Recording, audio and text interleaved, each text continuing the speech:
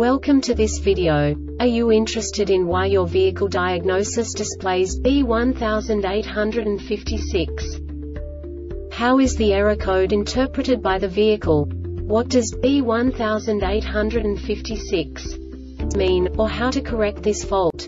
Today we will find answers to these questions together.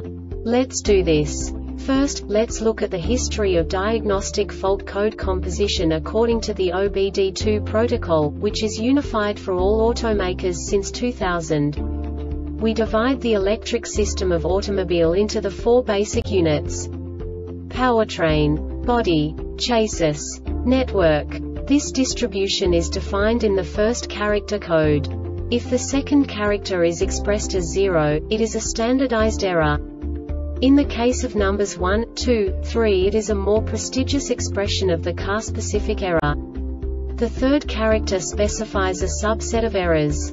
The distribution shown is valid only for the standardized DTC code. Only the last two characters define the specific fault of the group.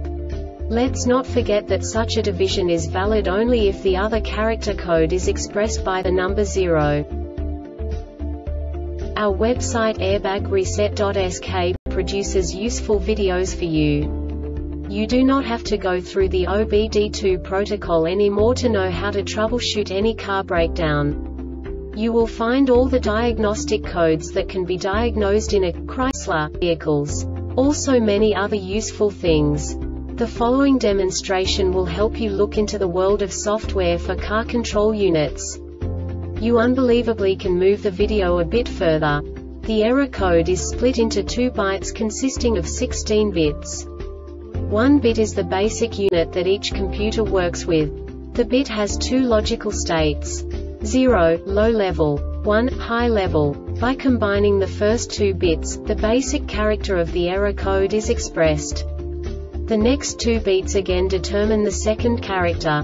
The last bit styles of the first byte define the third character of the code. The second byte is composed of a combination of 8 bits. The first 4 bits determine the fourth character of the code. And the combination of the last 4 bits defines the fifth character. A single byte conceals 256 possible combinations. We now know in what way the diagnostic tool translates the received information into a more comprehensible format. The number itself does not make sense to us if we cannot assign information about it to what it actually expresses. So, what does the diagnostic trouble code B1856 interpret specifically Chrysler car manufacturers? The basic definition is Cylinder 4 oil supply solenoid valve open circuit. And now this is a short description of this DTC code. Multi-air is an electronically controlled variable intake valve phase and lift system unlike conventional intake valve phase and lift system which controls all the cylinder intake valves simultaneously and in the same proportion multi-air, through the use of an electronically controlled hydraulic link between the camshaft and intake valve, allowing for each intake valve to be controlled independently the valve lift and timing can be adjusted infinitely. This diagnostic error occurs most often in these cases.